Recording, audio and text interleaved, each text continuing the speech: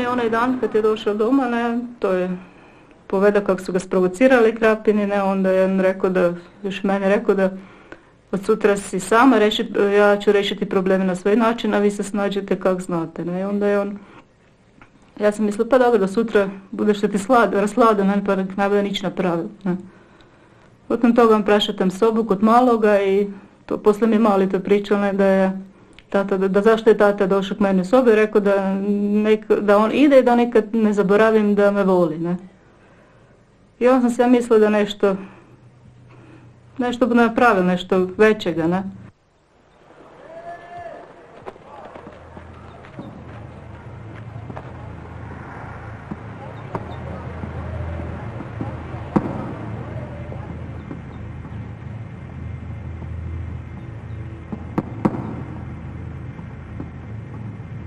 Ušao koji svaki, recimo, čovjek. Bila su vrata zatvorena, nemamo dva na kvaku, niko ne može ući. Pokucali su tu, bilo još kolega nekih tak, ovoga, otvorili su vrata i poslije koliko su mi oni ispričali, rekli je to on je e, se predstavio, ne znam, ovoga, da bombu ima da u žepu, nije imao vani bombu, da ima bombu u žepu i da da nek se makne ako neće poginuti. Dođe k meni blizu i veli bez ikakvih ono, napada ili kaj veli dajte molim vas izađete pol vas van, a pol neko stane unutra kad ne bu neko Previše vas sila da vas svi poginu. premladi ste da bi da bi Previše svi poginuli. Invalid iz rata, dobrovoljac, dvoje djece u osnovnoj školi, pokazano nam je hrpu ovih tih papira, iskaznica, koje kakvih i htjeli je onda da, da, da, da nešto valjda progovori na, na, na radiju.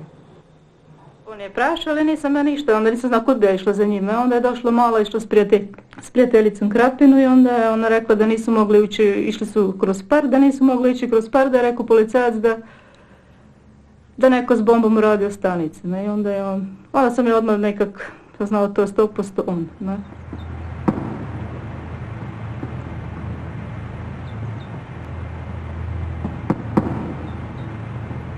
Zaprimljena dojava, mi smo upućeni tu pred radio postaju, kad smo stigli, kontaktirali smo sa gospodom koja su bila u režiji unutra u studiju.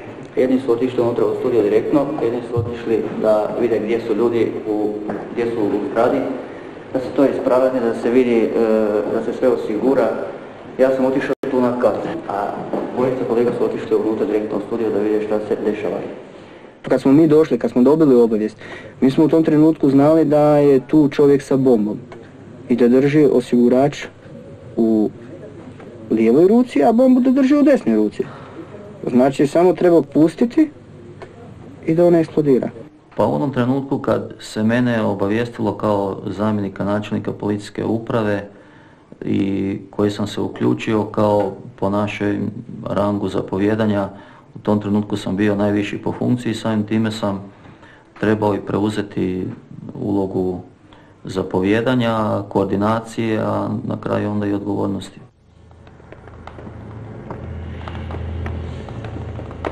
No i ovoga, oni su ušli unutra i dok su se dogovarali, sjedili, Pero ja smo se dogovorili da to ne bude išlo van u eter, nego da ćemo to snimati.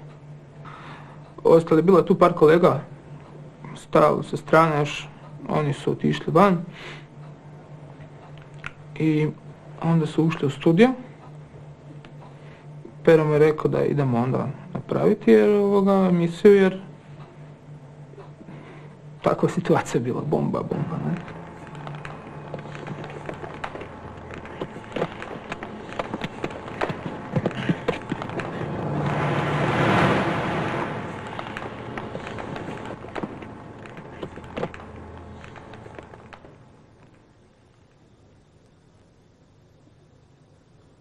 Tad sam otišao bez namjere, jer ja nisam znao gdje idem. trenucima mog bijesa i navale toga dolazi do pomračenja uma, kak i kod svih dečkov. Dolazi do brisanja pamćenja. I ja, kad sam istrčao iz kuće, kad sam se pozdravio sa familijom, rekao da imam riješiti svoje probleme, nisam imao određeni plan. Nisam imao niš pred sobom, točno. Uglavnom, prešao sam ormar, uzeo sam bombu, je spremljen. Došao sam na ulicu, krenuo sam u određenom smjeru, to je uvijek prema gradu. Došel auto, ja sam ga zaustavio, stao mi.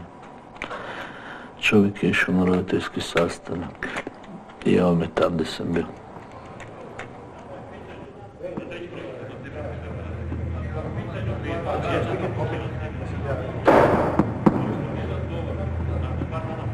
Dok sam došao unutra, vidio sam skup ljudi. Zamolio sam mi da izađe Ivan, naš ljudi, kako to su bili klinci. Jednostavno nisu me, mislim, oni su ozbiljno shvatili, vidjeli su o čemu se radi. To nije čovjek s kojim se moraš šavati. Napustili su studiju. Zamolio sam ljude nek ostao unutra s kojima želim porazgovarati i reći im svoje probleme i radi čega se to sve skupa događa. To ti je to. Baš sam uradio jer nikakvih svojih prava više nisam mogao ostvariti. Znao sam da neki moram napraviti. U biti ne dolazi u obzir da se primjenjuje bilo kakva sila, jer sam dobio informaciju koja je prenijeta od strane naših djelatnika koji su bili ovdje već na licu mjesta, da je u biti on kazao da ne želi ovdje vidjeti policiju, da želi razgovarati, u biti dati svoju ispovijest oko problema koje on ima direktno u eteru. Morate učiniti sve, ama baš sve da pokušate spriječiti tog čovjeka da napravi ono što je naumio i sami sebe jel, i da pokušate spriječiti svaku ljudsku žrtvu, pa čak i žrtvu onoga koji je to sve skrivio. Išli smo od pretpostavka da opet idemo prvo na neku blažu varijantu, znači da ne idemo sad, ne znam, pucanje, ubijanje. I onak smo osposobljeni za to da ga probamo savladati, znači samo fizičkom silom. Ova vrata su bila blokirana, tamo ona izlaz, bio je samo ovaj izlaz tu. Morali smo tu biti, znači ubio sam ja tu, u stvari, ako pokuša izaći, da ga spriječimo u tome, ne. Ili uzmemo tu bombu. Svi se preplašili onda. Poslije sam već i kako smo to radili, uopće sam zaboravio već i da bombu ima, uopće kod da nekakav normalan posao radimo, standardni snimanje nekakve emisije, bez veze tako. E? Recite, dečki, slobodno govorite. Ne bojte se više bojati, nemate se više koga. Sad je sve došlo, mora doći jedan put sve na svoje. I više toga više nema, to je sad već bilo zadnja granica. Za sve sam nesposoban, nijakvih prava nemam. Svi se, dečki, setite Buca, jer Buca poslije ove emisije više nema. Konkretno radi se jednoj osobi koja je bila učesnik, aktivni učesnik oslobodovečkog rata i poslije izvjesnog vremena posrednjavanja bila na neki način izvučena iz ovog konteksta da predstavlja nekoga i nešto u određenom vremenu. Došao u situaciju da je u tom momentu predstavljao osobu koja je samo bila jedan društveni problem. Ostaje bez posla, za ovo ne znam kako je bila nadoknada, odnosno skrb, da li bila, kolika bila. I osoba bilansira svoj život. Dao je praktički zdravlje, ono što najviše moguće čovjek dati u ratu, a za to ništa nije dobio. U jednom trenutku, kad sam se vratio doma, garde, posle zadnje akcije, jednostavno sam osjetil da mi nije dobro. A već prije toga sam ja tražio psihijatrijsku pomoć i to je vidljivo iz dokumenta. Bio sam ja kod neuropsihijatra, s njim sam razgovarao. On mi je predlagao liječenje, ja sam mislio da mogu sam s tim izaći na kraj. ali bilo je očito da ne ide i počeo sam trošiti jedne tablete, bio sam na skrbi, javio sam se njima, da sam isto tražio da mi se pomogne neuropsihijatrijski, do trenutka dok nisam došao na jednu konfliktnu situaciju kad je bila moja supruga u pitanju. E, poslije jedne noći spavanja ona je izašla a ja je nisam čuo. Po povratku njezinom u sobu ja sam skočio i primao sam je za grlo.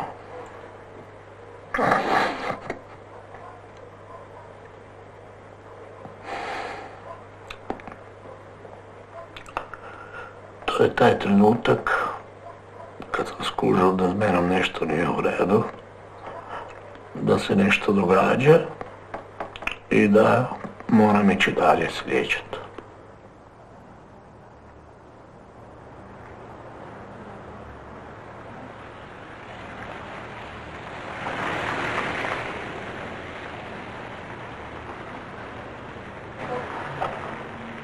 E, Gospodin Gorić, samo morala bi ipak ovaj pročitati. Kašno je došao u našu bolnicu e, prvi put, 11.9. a otpušten je s, s naše klinike 29.11.95. godine.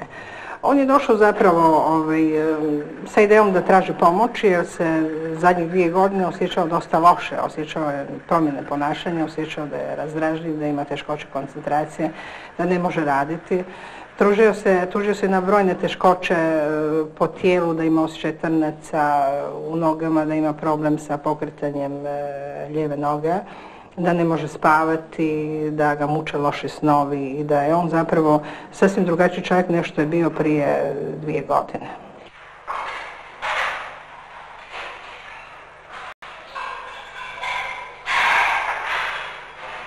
Doješ doktoru, kaj ti je? Bolestan sam, doktor, nije mi dobro.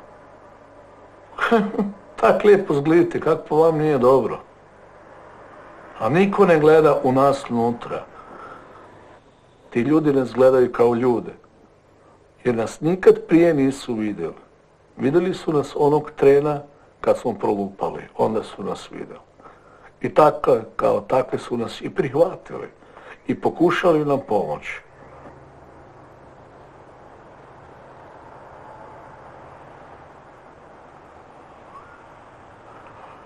To je bil život veoma teški, moram ti reći, strahovito teški. Izdržati u Vrapću 78 dana, to je nešto neponovljivo za svakog čovjeka. Za mene nije bilo, jer iza mene je stajala familija i bil sam jači.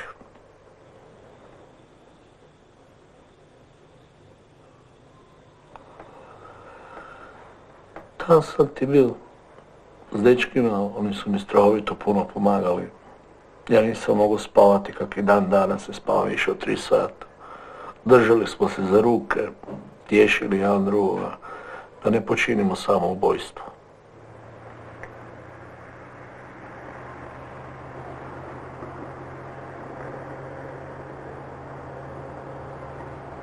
On je imao psihološke probleme koje smo mi pri otpustu dijagnosticirali kao depresija i posttraumatski stresni poremećaj. Izgubljene iluzije. Zemljo moja najdraža, kao mati rođena volim te. A oduzela si mi sve. Da sam to prije znao, isto bih ti dao.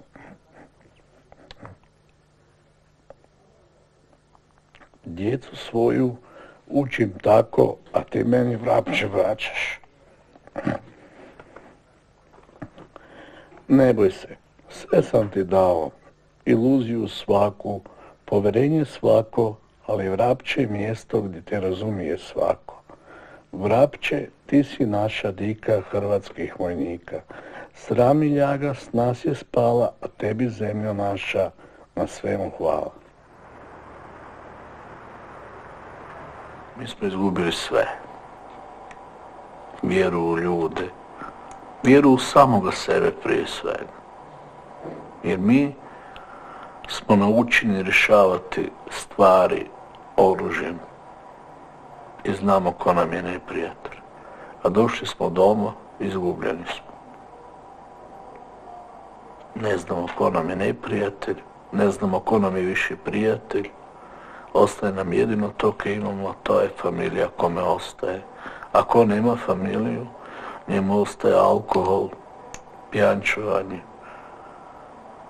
i onaj dio najtužniji, a to je oduzimanje svojeg vlastog života kojeg sam ja go spreman dati da obezbedim svoju familiju.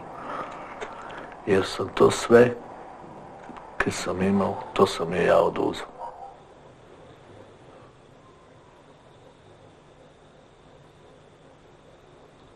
Oni su valjda shvaćali da je na ratištu i da nisu postavljali pitanja, ne. Toga nije bilo, opet plakali su se, ne. I ja pa sam ih smirivala koliko sam mogla, da oni, ja sam se ja plakala po noći kad, da dok me oni nisu vidjeli, jer meni isto bilo teško, ne uvijek tak sama, nemaš s kim razgovarati, uvijek ti neki treba popraviti preko učilišta, baš ono ti se desi kvar da, da njega nema i nešto, ne tako. E mi nismo ništa više od svih drugih. Samo smo imali ono nešto što oni nema. Nisu probali šta znači smrdljive ribice jesti čak stariše od tebe. Izdeti si gore češnjaka kad ti ne smrdih nos. Napraviti si sojenicu, kućicu od granja, pruče. Grijati si prvi stan u prije tijela, pa se okrenuti, pa grijati zadnju. Jutro jedan kolega drugoga ne prepoznao dimu, jer smo crni oba dva pa se smijemo jedan drugom. To nemaju oni shvatiti. Mala je pogotovo, ona se nekako osjeća, ili ne vezana bolj za njega, za oca, ne, pa onda je ona, uvijek da je ona odlazila, jako se plakala, ne. I onda tako, ona, pa mi, pa baka, pa, pa mali svi, ne, tako. Ali opet ja sam se trudila da, da oni, jer oni su opet onda pazili samo mene lice kako ću ja reagirati, ne. Ako se ja plaćam, onda oni bolje, još bolje, ne. Onda sam ja nekak, tako da sam i smirivala, ne, ali malo opet nismo loviti na televiziji nikakvu reportažu s ratišta, ona se odmah plakala, ona mi plakala, moj tata, gdje je moj tata, gdje je moj tata. Ja sam tisuću puta molio da padne granata poleg mene da me bije. Jer onda znam sigurno da je moja familija obezbeđena. Tako sam si bar u sebi mislio. Uvijek, uvijek ima familija, tako? Da, pa uvijek sve se okreće oko familije. Pa mi ne tražimo od ove države ništa. Pa mi smo dali sve za nju. A ne tražimo miš. Pa ne treba meni čin. Pa meni čin su moji deči koji me u krapini pozdravljaju. S kojima ja popijem pijaču, pa to je čin. Pa koji novci? Kakvi novci? Jel se može koji gardista, evo, pa pitajte bilo kojega čovjeka na tom svijetu, da li se on može za novac tući kak se može čovjek sa dušom tući. Nema takvoga na tom svijetu koji se za novac može biti. On može ubiti za novac. On može ubiti za novac. A da li može obraniti nešto za novac, ležati u rovu po par sati, po nekoliko dana, ne vidjeti familiju po 30 dana, 40, jesti konzerve. Da li to može jedan plaćenik? Ne može. I on razmišlja kako te novce poslije potrošio. A ja sam razmišljao kako ih poslati familiji. Ja sam o tome razmišljao.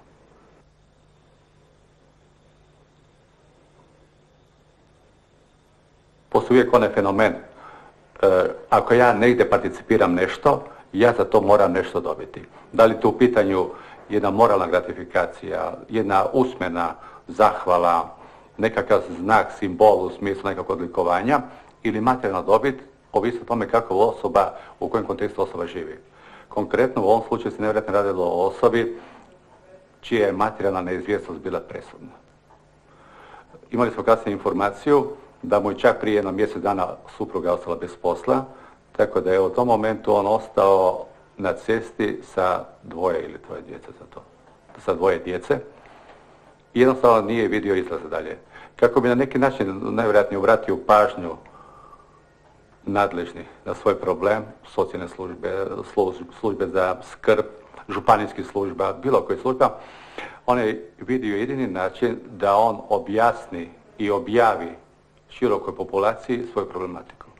Možda nevjerojatni način izabrao krivi način. Slušali smo cijeli razgovor. Mm, preko tog razgovora i, i znali smo u kakvom se stanju on nalazi.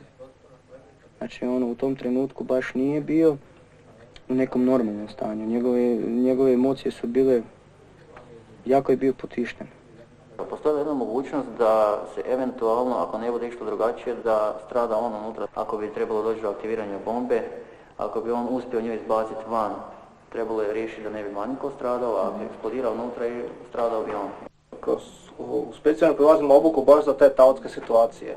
I naravno vidio sam tu njegovu oscilaciju, ide iz onog nekog smirenog stanja u neko uzbuđivanje, kombinacija pa se opet smiruje. Pa niš, nisam razmišljao o tome, mišljao sam čisto o tehničkim pojedinostima, zahvat, oduzimanje bombe, gdje je osigurač, kako se, kako bude to bilo, ali bude bilo i tak.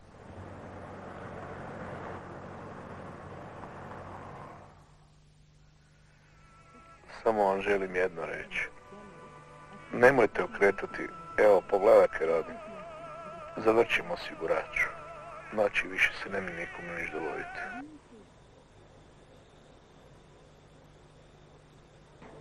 Pa, bilo me strah.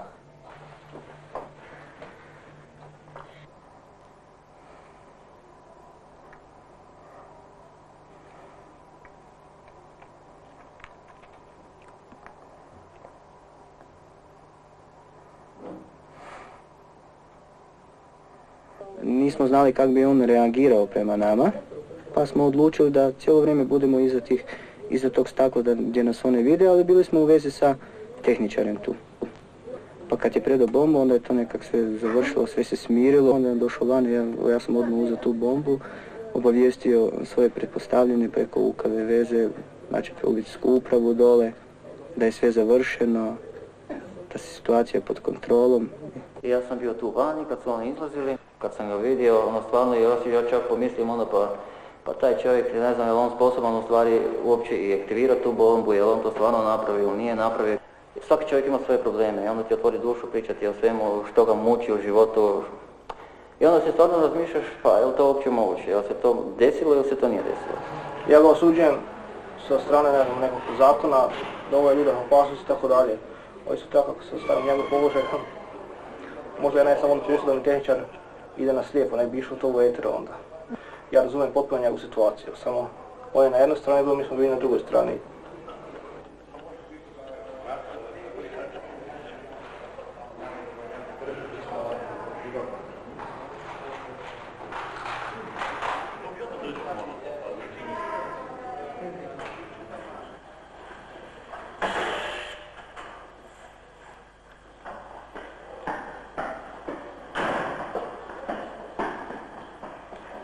Za nas je on bio građanin koji je nešto napravio što je protuzakonito. Znači on je morao doći u policijsku postaju, on je preveden tu, da bi se s njim obavili neki razgovori, izvršila se krim obrata nad njim i da bi na osnovu toga bi mogli podnijeti odgovarajuće pismene. Pa bojala sam se, ja stvarno da sam išla do, do, do Krapine, svašta sam si mislila, ne. I molila sam se cijelim putem samo da, da to nije istina, ne. Mislim, ja sam, bila, mi je, bila sam srećna kad sam vidjela da je živ da, i da ništa nije napravio, ne. Nakon završenog slučaja, nakon predaje bombe, on je se primirio. Ja mislim da je on shvatio što je napravio, da ne pravi nešto što nije uobičajeno za našu sredinu i što nije uobičajeno za njega samog. Tako da on primirio, shvatio situaciju, shvatio ozbiljnu situacija, što se moglo dogoditi. Mi smo protiv e, gospodina Goričkog podnijeli krivičnu prijavu. Nakon toga smo u dogovoru sa istražnim sucem tog dana kad je vršena obrada dogovorili da istog ne privodimo odmah u istražni centar na ispitivanje i na daljnje mjere i radnje u istražnom centru, već smo odlučili da ga ostavimo doma uz njegovo obećanje da isti neće probleme praviti.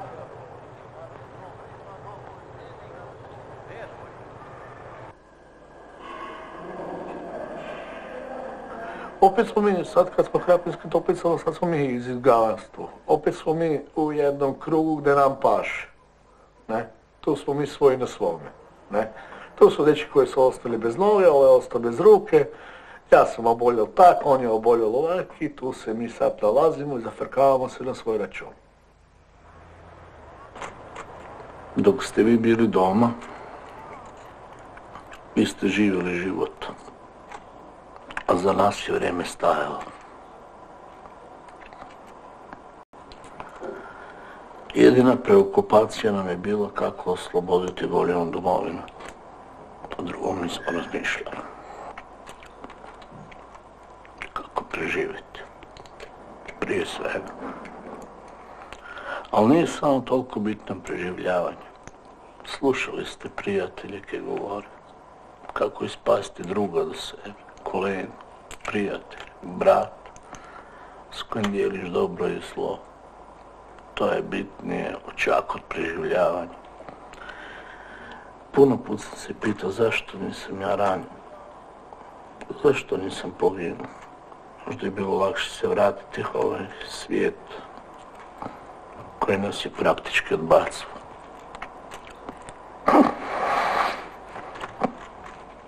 rješavajući socijalni problem, zapošljavajući suprugu, e, stavljajući njega na skrb, da li smo možda mi na neki način dali ideju za druge. Međutim, možda će ti drugi, možda ti drugi neće ostati samo na neki način na ustrašivanju, na traženju, nego će možda i fizički, odnosno sa oružjem, realizirati ona svoja prava po svom kriteriju koje su bila oduzeta. Konkretno, najčešće dobivamo odgovor, mi smo se borili za Hrvatsku, mi smo Hrvatsku stvorili, što mi imamo od Hrvatske? Hrvatska, da ne kažemo politička stranka, na neki način je zanemarila, potisnula i ljudi još veću agresiju ima. E, možda ja malo karikirano ponekad govorim, imam strah da konkretno Zagorju, ovoj populaciji, ne dođe do, do druge seljačke bune. Što nisu pravi. Ja, vidite da su pravi.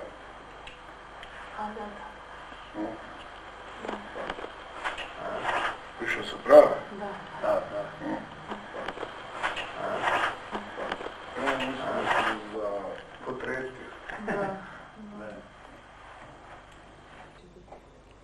Ne znam kako će biti, još ne vidim ja nikakvu nadu. Niti on, niti ja. Sve skupo ovi problemi kako su došli i, i bez posla i jedan i drugi ono bolovanju tako dugo, ne. Ne znam. Ne znam, ja sam optimista sam uvijek bila i opet bi velim da se ne nadam, ali opet nekakvu nadu imam, ne, ali sad je velim da on otišao na ratište 91. godine, još dan danas on se nije vratio iz rata. Jer još ga, niti ja imam supruga, niti djeca ovce.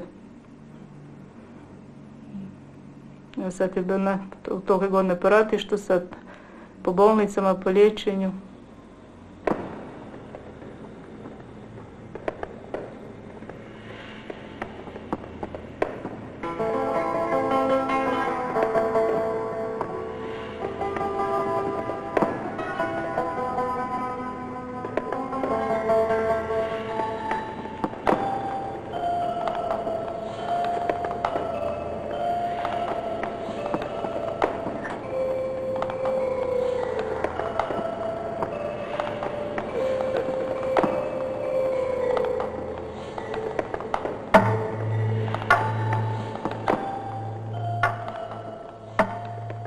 Kak se sad osjećam?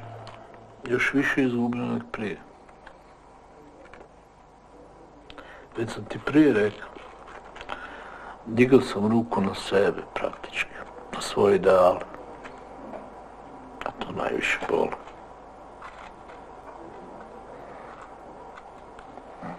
Ko je za to kriv? Treba ga tražiti. I kad bi gledao taj film, ako bude film ili bilo šta će biti, nek se pita ko je kriv za to. Mi se nemamo zašto pitati. Nemamo se čega sramiti. Nemamo čega bježati. Ali morate znati jedno, mi smo ti koji smo to stvorili. To mora biti uvijek na umu. I da su to obični ljudi stvorili vjerujte nam. Nikada nas zamijeniti ne možete. A vjerujte i to da uvijek s nama možete računati.